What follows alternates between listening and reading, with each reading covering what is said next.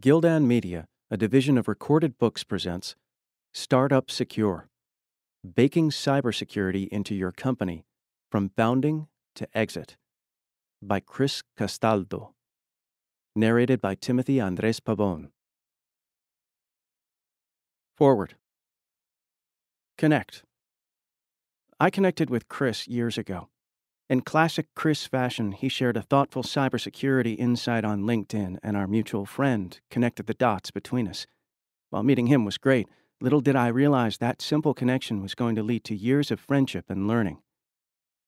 Cybersecurity has been in such a constant state of flux that many companies still don't know how to write a Chief Information Security Officer CISO job description. They don't know what a CISO does in their day to day job. You will find CISOs as heads of IT, internal pen testers, security engineers, writing compliance reports, negotiating legal terms, reporting to any C suite role, and some taking primarily customer facing responsibilities. There's little question that the security role is still in an early stage in its evolution. With all of that confusion, it is no wonder that resource constrained startups and founders have no idea how to proactively build a security program.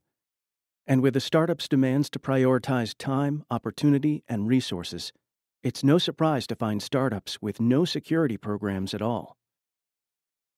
The reality is that as the world evolves and more business becomes increasingly digital, the security bar is rising for all vendors Every customer that trusts a vendor with its resources, i.e., financials, customer data, wants to know that their sensitive information is being handled safely, something they know the bigger vendors are likely working on.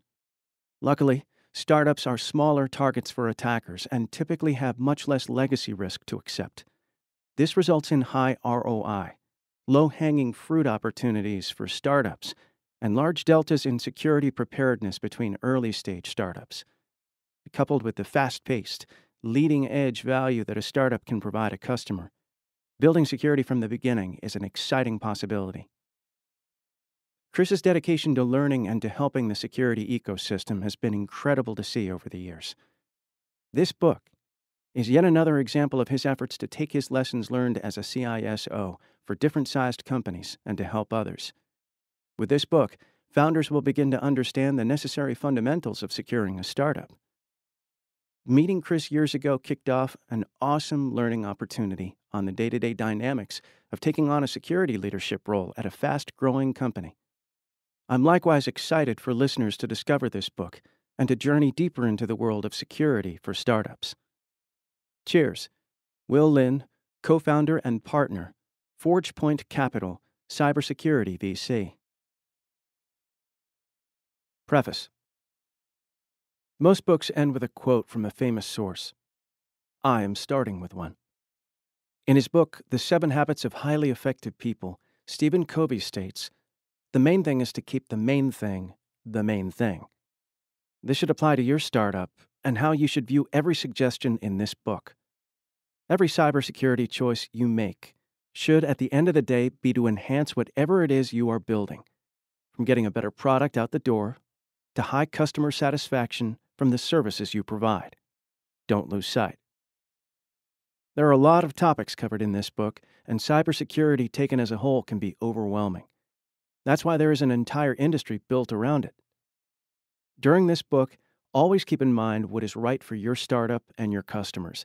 You don't need to implement all the things we discuss in this book from day one, or even by day 1000. But you should understand the important trade offs by the end of this book. Just knowing those trade offs then allows you to prioritize what is right for your startup and allows you to keep the main thing the main thing. A great example is a security incident and event management SIEM solution, which is something you most likely won't need until after the validation phase, maybe even beyond the growth phase. I hope to provide you with the right know how and understanding to intelligently make those decisions. Of course, you are not in this alone. Your fellow founders, board members, venture capital VC advisory board, customers, peers, and vendors are all sources to validate your overall cybersecurity plan. Utilize the free resources that want to help and see your startup succeed. Why write this book? Cybersecurity is now a requirement for every company in the world, regardless of size or industry. Regulations and laws at the state, national, and international levels are being created at a faster rate. Constituents expect their elected officials to not only investigate the massive data breaches we've seen over the years, but also that those politicians do something about it. It is especially important for startups. This book was written to be the go to source for startup founders, entrepreneurs, leaders, and individual contributors. There is no expectation for companies because of a lack of technical prowess or even experience as a cybersecurity professional. Accounting is an obvious part of all business, as is cybersecurity, and not everyone can be expected to be a certified public accountant CPA or an offensive security certified professional OSCP. I will walk you through the sometimes chaotic and confusing world of working with cybersecurity professionals and trying to be one yourself, dealing with industry specific regulations and the almost infinite supply of cybersecurity vendors. I wrote this book because there are hundreds of books, studies, and white papers on cybersecurity and best practices, but nothing speaking directly to founders and startups. There are even more books about startups and for entrepreneurs yet not a single one mentions building your company in a secure way. The Kauffman Foundation estimated 530,000 new businesses were created every month in the United States during 2015, which translates to 530,000 new possible targets every month, with no ability for them all to hire the experienced cybersecurity professional required to securely run a business today. Many hiring reports indicate we are currently in a cybersecurity hiring crisis. However, that fact should not prevent any organization from developing and implementing a risk based and right sized cybersecurity strategy, regardless of the industry they operate in. This book won't create a new framework or standard, but will translate those that exist into a common sense selection for entrepreneurs, business leaders, and individual contributors. There is no wrong framework or standard that you could select, but not adopting one will certainly spell disaster for any organization, startup, or 100 year old organization. A phrase I vividly remember from my time in the Army deployed to Iraq that sums this up is get off the X. Regardless of the decision, not making one is typically always wrong. This book is the culmination of my experience of over 20 years in cybersecurity at startups, global tech companies, the National Security Agency, and U.S. military. Since I started this preface with a favorite quote, I'd like to close with one that I feel sums up how this book came about. In Nassim Nicholas Taleb's book, Anti Fragile, he writes, I write with my scars. I cannot agree more. Without spending many years doing this work, and without the support of many professionals that have helped me along the way, this book would not be possible. I hope that my experience helps you start up secure. Introduction About this book. Chapter 1 will discuss and get you comfortable with building a minimally viable cybersecurity program for a minimally viable product. You don't need to start with National Security Agency NSA level security on day one, and most won't even need it the day they ring the opening bell. Chapter 2 will help you think through and build your cybersecurity roadmap, regardless of where you are starting in the startup lifecycle. While it may seem out of order, why wouldn't you plan your roadmap first? Not everyone starts at the point of needing a roadmap with a defined and documented strategy. If you are a month into building your minimally viable product MVP and just received your legal documents officially forming your company, a three year cybersecurity roadmap is going to take up time and then sit on the shelf. Chapter 3 is, in my opinion, the most important chapter in this book. If you listen to one chapter only, make it this one. Your credentials, which make up a username and password, are your keys to your digital self. These are most critical to protect as they underpin nearly all other systems in a cybersecurity program. Chapter 4 will explore the ever changing world of antivirus that began nearly 40 years ago and is now called endpoint detection and response EDR or Endpoint Protection Platform, EPP. EDR and EPP is an important layer to your cybersecurity program, one that might be difficult to delay beyond the formation phase of your startup. Chapter 5 tackles the necessary evil that is our office network, how we connect to the internet. It makes all of this possible and is also first to be blamed when we can't load our favorite cat video on our office Wi Fi network. Chapter 6 We soar into the sky and take a look at the clouds. It is nearly impossible to not use a cloud based product today, and as a founder, there is a very good chance you are building a cloud based product or will use them to scale your startup. Chapter 7 covers the actual basics and predecessor to all of this information technology IT. Chapter 8 covers an equally critical topic to Chapter 3 hiring. Making your first cybersecurity hire is a high impact decision for your startup. The wrong hire can have disastrous consequences. And making sure you know what you're actually looking for, being honest with yourself and founders, will pay back dividends Cybersecurity is one of the most competitive fields for jobs, and has been for nearly a decade now. Chapter 9 is a personal favorite of mine. Not everyone enjoys the negotiating challenges of working with a customer's general counsel on terms and conditions, or arguing the auditor's definitions of was. Being compliant can sometimes mean you can or cannot do business in an industry, country, or with a specific business. This is a chapter you shouldn't skip. Chapter 10 continues and builds on Chapter 9 and dives specifically into government law and industry regulations. These, much like being compliant with a legal agreement, can stop a startup in its tracks or open the doors to prospective partners, acquirers, and customers. Chapter 11 will prepare you for the day when people ask you if your product is secure and how you protect their data. It's a good idea to start thinking about these answers now and then look at your answers and verify that you are actually doing that. Someone will eventually want to audit you. Being ready to comfortably and confidently talk about your cybersecurity program will build a lot of trust with investors, customers, and partners. Chapter 12 will discuss the inevitable data breaches. They are a part of doing business today, and we build our cybersecurity programs to the anti fragile so we improve when they happen. Chapter 13 dives further into the technical needs for startups that are developing a technical solution and covers baking cybersecurity into the product you are building, not just your startup. Chapter 14 looks at outside risks of doing business today. Third party vendors, really any vendor you use, will bring some risk to your business. The reward must simply outweigh that risk.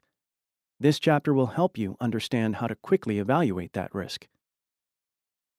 Chapter 15 will bring us back to where we started and set you and your co founders on the way to building a secure startup.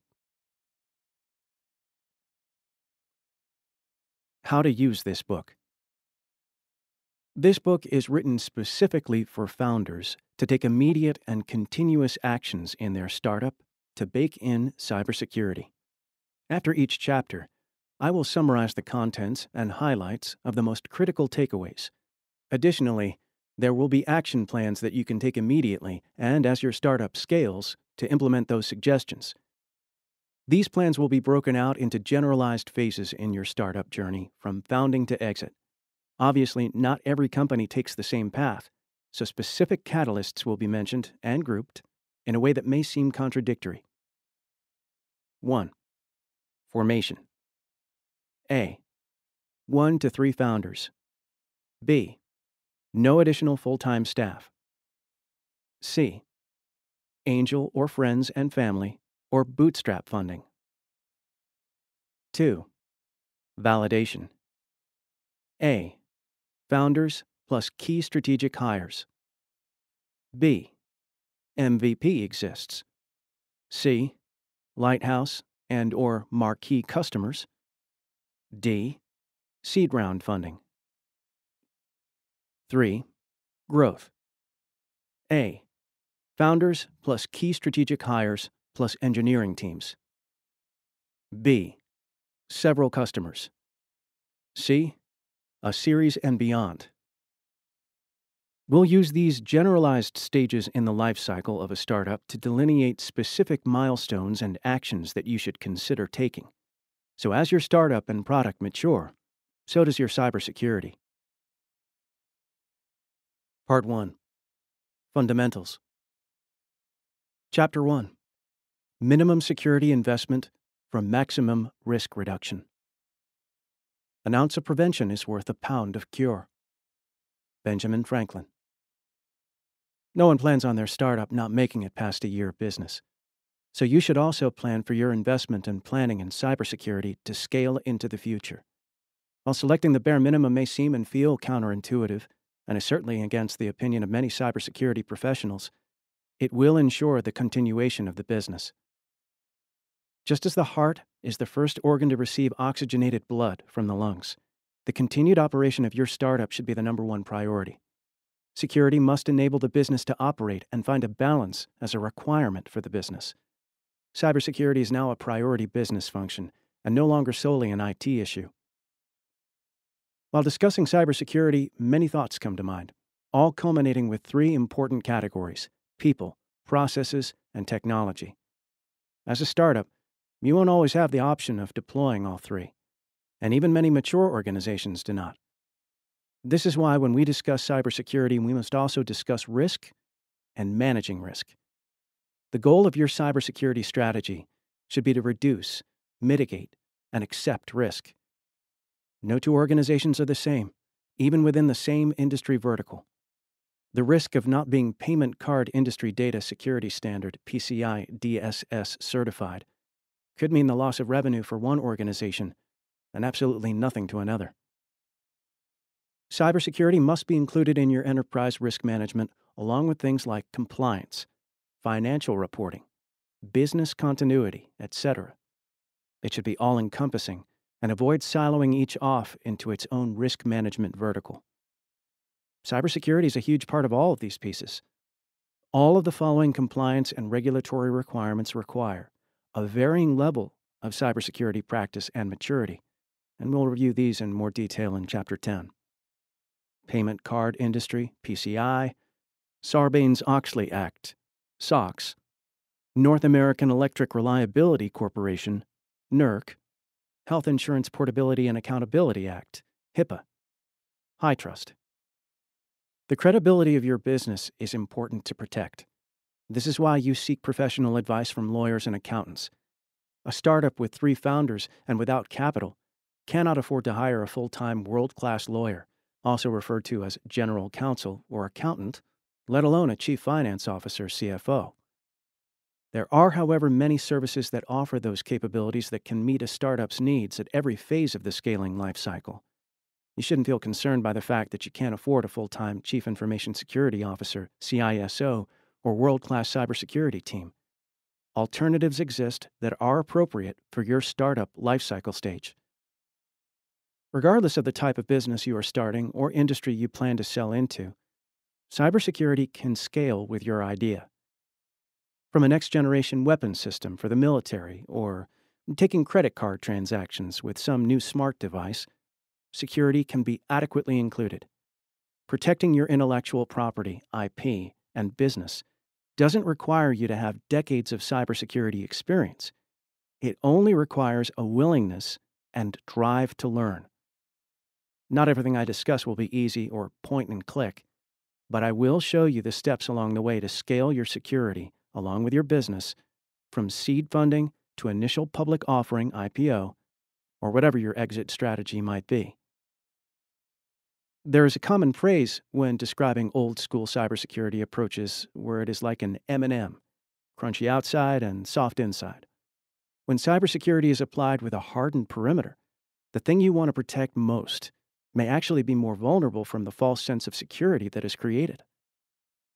When approaching cybersecurity for your new startup, you should focus on the following the data or capabilities you want to protect, the systems with that data or capabilities you want to protect, the people with access to those systems you want to protect. Communicating your cybersecurity. Communication is a critical part of our lives. It is also critical to the success of your business. Communicating with your fellow founders, potential or existing customers, vendors, or investors is vital. In cybersecurity, there is a common philosophy called CIA confidentiality, integrity, and availability. To better understand this, we can apply this methodology and framework to email. In the case of the sender and intended recipients of that email, only those individuals can access the communications. The information being communicated is unmolested, and it is accessible when required, respectively. This philosophy is applied across cybersecurity, not just to communicate, but for this discussion, we will refer to it as such. It should also be noted that each are not always equal in every situation. There may be times when availability is favored over confidentiality. You, as well as your founders, will want to know your startup is defensible, at a minimum, from the most common threats today. Your customers will want to know their data, and in turn, they are safe with you. Investors will want to know their investment is not put at unnecessary risk. Once you've addressed the topics we will cover in this book, they will all apply equally to these different audiences.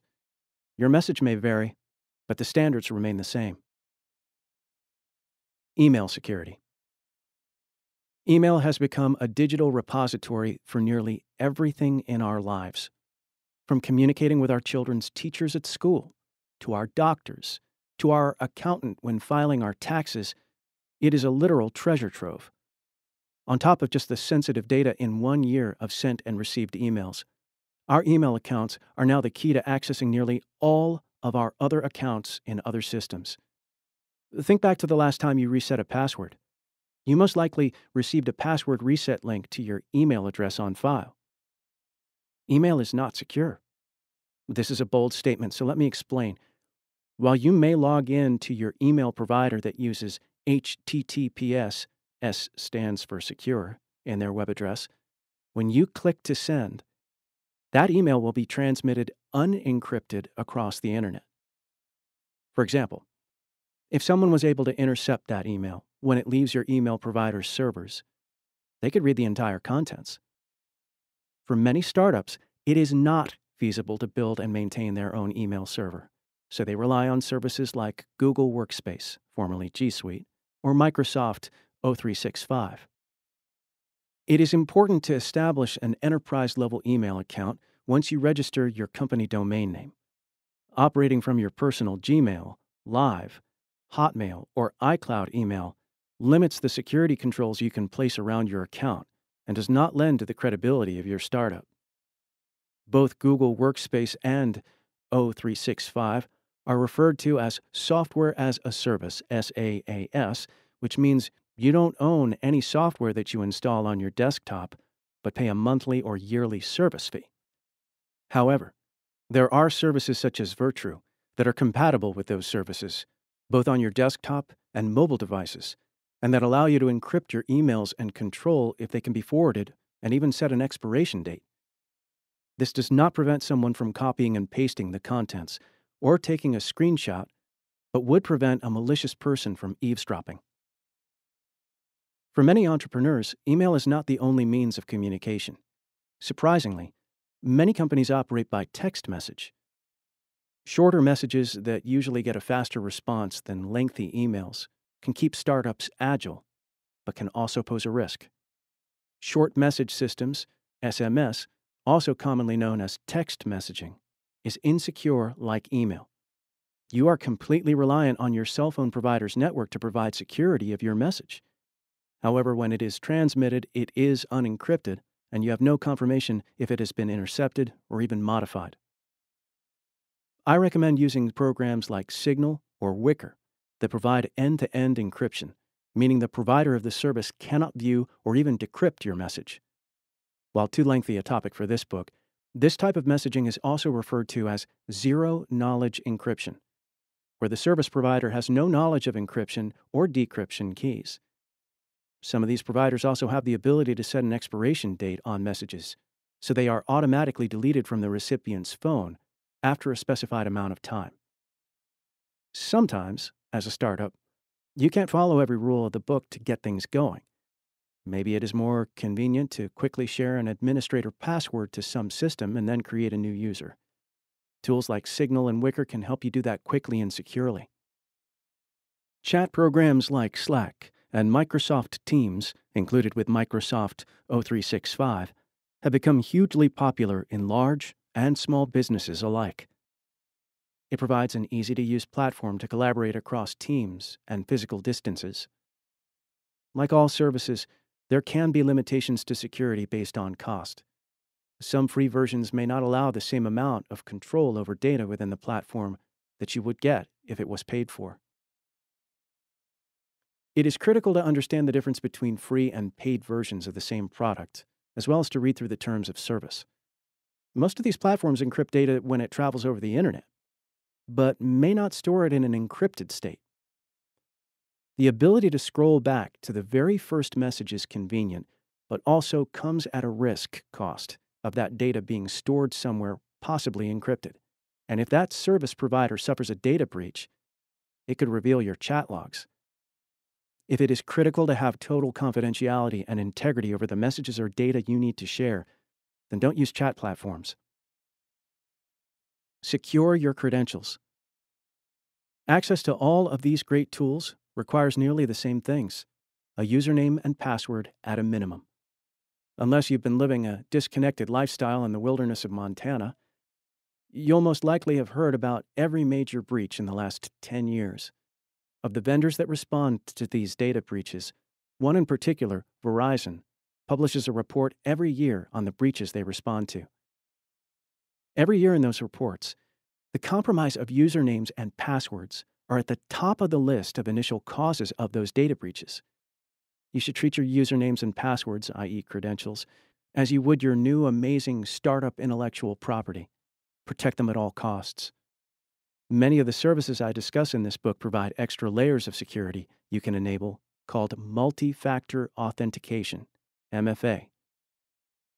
The use of MFA is a business requirement today and can drastically reduce, if not eliminate, the possibility of someone that has stolen or guessed your credentials from logging into your account. There are various forms that MFA can come in. A text message is one of the most popular capabilities. However, as we have already discussed, text messages can be insecure. Multi factor authentication requires you to enter an additional piece of information when you log in with your credentials. You might even already use a feature like this with your bank, where you receive a code via text message that you have to enter to complete the login process. While not all services you use will have this capability, you should enable it immediately, especially if you are like 80% of users that reuse passwords across many sites. Some more advanced services like Google Workspace for Business allows users to use an app on their phone to conduct the MFA portion of their login. This app is called Google Authenticator and is free to use. Authy and LastPass are also popular free apps. For sites that support this type of MFA, you simply log into your specific account, enable MFA, and the website provides a QR code that you then take a picture of with the Authenticator app. When using these apps, you will typically be presented with backup codes when you set up this type of multi factor authentication. Print these codes out and put them in a secure place. If you lose your phone, you lose your ability to authenticate into the services you protected. I'm saying this twice because it is critical. Print out and save your backup codes. This syncs your phone and the specific account. When you log in with your credentials again, you simply open the app and enter the code displayed. There are alternative services to this app, such as Authy.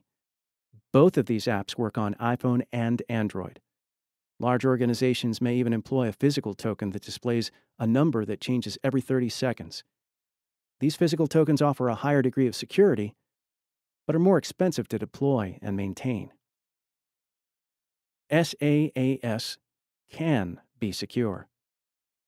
Nearly gone are the days of setting up a physical server in your garage that runs the website, email, build, development, staging, and production environments for your startup.